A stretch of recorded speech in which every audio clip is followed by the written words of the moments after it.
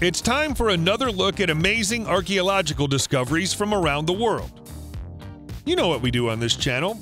We go looking for news of fantastic finds, and we bring them all back to you in videos like this one. We've got some stunning stories for you, so let's not waste any time. We'll dive into them right now.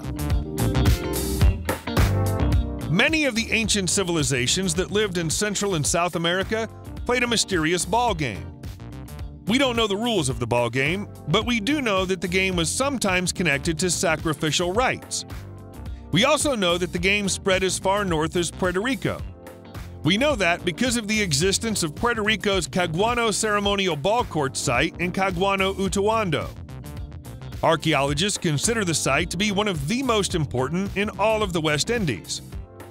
The ball courts were created by the Taino culture, which existed here about 800 years ago, there are 30 courts here in total, upon which the Taino played a variation of the South American ball game called Bati. The same game is known to have been played in Jamaica, Cuba, and the Bahamas in the distant past. It's thought that the courts may have had other functions, such as being used for ceremonial dances and perhaps even as a place from which to make astronomical observations. The U.S. government added Caguana to the National Register in 1992 and declared it to be a U.S. National Historic Landmark in 1993.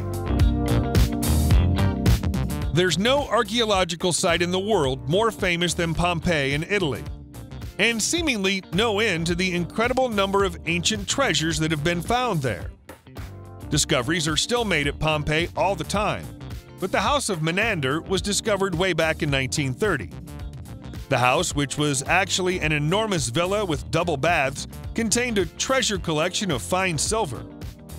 Archaeologists recovered 118 silver objects from the House of Menander, including drinking jugs, bowls, cups, salt shakers, ladles, spoons, and a pair of silver mirrors. All of the items were found together, hidden in the bottom of a wooden casket and wrapped in a blanket, along with jewelry and coins. Experts suspect that the collection represents the life savings of whoever lived in the villa. It seemed whoever lived here had a taste for the classics and also a taste for extremely expensive cutlery and dinner service. The finest items in the range come with gold embossed motifs, showing traditional Roman mythological scenes like the 12 labors of Hercules. The entire collection is now held in the National Archaeological Museum in Naples. Thanks to ground penetrating radar technology and drone photography, it's now possible to make archaeological discoveries that were previously invisible to the naked eye. One such discovery happened in Køge, Denmark, in September 2014 when archaeologists found an entire Viking ring fortress. It's one of only seven known fortresses of its kind. They're known as Trelleborg fortresses, and there are other examples in Fyrkat, Aggersborg, Nonnenbakken, and Trelleborg itself. All of them appear to have been built during the reign of King Harald Bluetooth in the late 10th century. They have several features in common, including ring ramparts, moats, and carefully planned street systems leading to four gate openings in the walls. Once the presence of the fortress was identified by using non invasive technology, a full excavation of the site was carried out. The results of that excavation revealed that life inside the fortress probably didn't end happily for its occupants. There are telltale signs of a large scale fire at the site, with all four gates burned down. One burned gate could be an accident, but for it to happen to all four suggests that this fortress fell victim to a well planned attack. We go to Spain now, where archaeologists discovered a remarkably well preserved Visigoth sarcophagus in January 2022. The discovery was made at the site of a former Roman villa called Los Villaricos in Mula. Experts believe that the coffin was buried during the 6th century, a time when this part of Spain was still a part of the Visigoth kingdom. It's made of stone, is 7 feet long, and is covered in swirling geometric patterns and ivy leaf designs. If the sarcophagus is from the 6th century, it challenges the existing theory that Los Villaricos was abandoned by the start of the 5th century. One possibility is that it was briefly reoccupied by the Germanic invaders after its abandonment, but Germanic invaders would be unlikely to create a sarcophagus like this one. Even stranger than the apparent timing of the burial is the presence of a Chi Rho Christogram. The Visigoths did eventually turn to Christianity, but they were still largely pagan when this stone coffin was created. The identity of the person within the sarcophagus has not yet been confirmed. Speaking of seemingly out of place discoveries with Christian connections, an enormous marble cross was found in Pakistan in June 2020. The cross weighs three tons, which begs the question of how it ended up so high up in the mountain ranges of Skardu close to the village of Kavardo. Scientists always have a hard time trying to date artifacts made from stone, but they believe the cross to have been carved around 1200 years ago. The style of the cross is thought to be significant it's been described by experts as being a Thumonian cross of India. It's the largest example of its kind ever to be discovered on the subcontinent and is a relic of a time when Christianity was the dominant religion in this part of the world. There are no Christian families living in the surrounding area now, but there may have been a church on the mountainside more than a thousand years ago. Christian tradition holds that the religion was first brought to the region by the Apostle Thomas in the year 52. But there's no direct evidence to support that belief. Ishibutai Kofun is the largest known megalithic structure in Japan. That's a good fact, but it's probably the least interesting thing about the stone tumulus. It was created during the Asuka period, and appropriately enough, it can be found in Asuka in Japan's Nara prefecture. Many historians believe the structure to be the tomb and final resting place of Soga no Umako, a powerful clan leader who passed away in the year 626. There's lots of circumstantial evidence to support that idea, but nothing conclusive enough for us to be absolutely certain. When translated into English, the word Ishibutai means stone stage.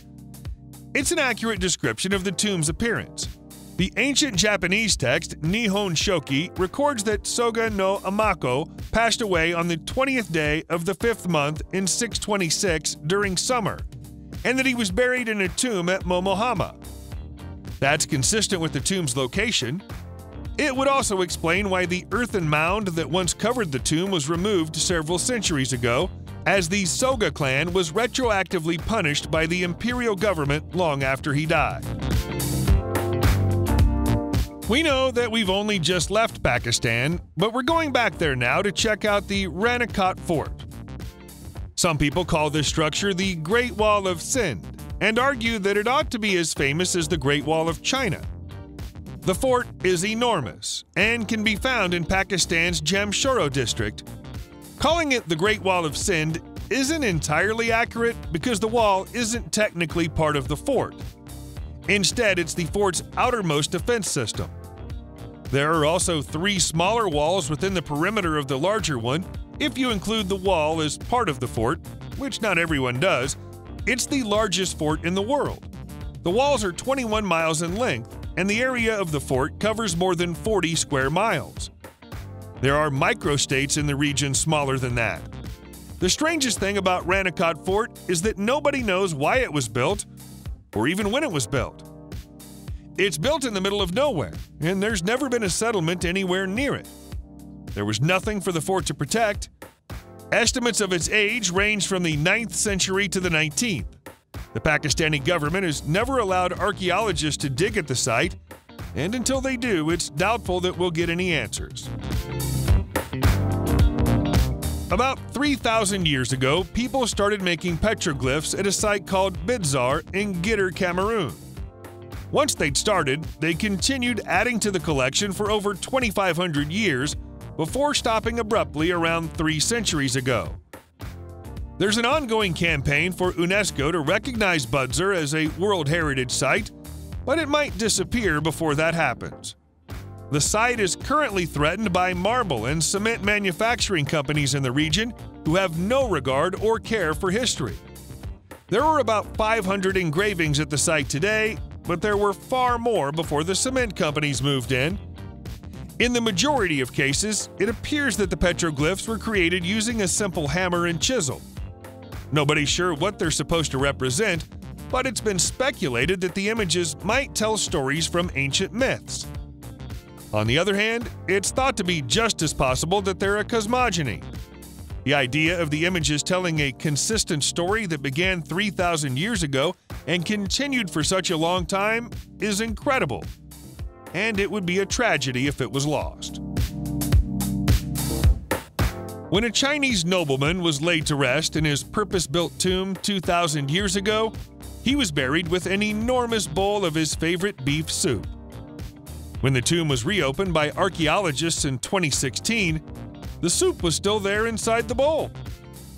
It's amazing to think the meal has survived for such a long time, but we definitely wouldn't recommend trying to eat it. Beef soup is considered to be China's national dish, and scientific analysis of this bowl has confirmed that there hasn't been any significant change to its recipe in two millennia. It even has two tiny strips of oxen in it, which is consistent with the way that beef soup is made in rural China. We'd love to tell you whose bowl of soup it is, but that's an official state secret. The tomb is in Henan province, but the identity of the person inside it has been kept secret for what we're told are security reasons. Apparently, it's still just as important to keep their identity a secret now as it was six years ago when the tomb was found. Who could it possibly be? There are plenty of ancient rock carvings in Bulgaria, but none quite so odd as the Madara rider in Kaspichan. It was carved about 1300 years ago, and for some reason, the artist who created it decided to carry out their work more than 70 feet above ground level. Quite how they did that is unknown, as there was no such thing as a climbing harness back then. Their artwork depicts a hunter on a horse standing triumphantly over a fallen lion while an eagle and a dog look on. The quality of the work isn't outstanding, but the fact that it's on the side of an almost vertical cliff makes it fascinating. Archaeologists think that it was carved somewhere close to the year 710 based on the inscriptions that surround it, which record events that happened in the early 8th century. The events are connected to paganism, which suggests that this might have been a sacred pagan site prior to the arrival of Christianity in the country.